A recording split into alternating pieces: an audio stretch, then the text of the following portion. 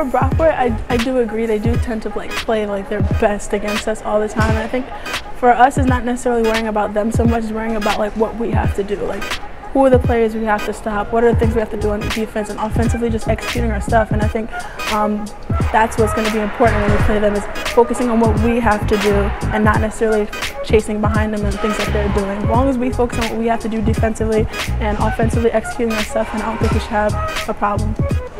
What really makes Geneseo a tough matchup? Um, I don't really think they're a tough matchup. I think that they do have like a lot of perimeter people that can make shots, and they do have some um, bigs on the inside that can like really post up and go to the basket. But I think we match up pretty well against them, and as long as we take away things that they do often, then we'll be fine and we can attack them on offensive glass.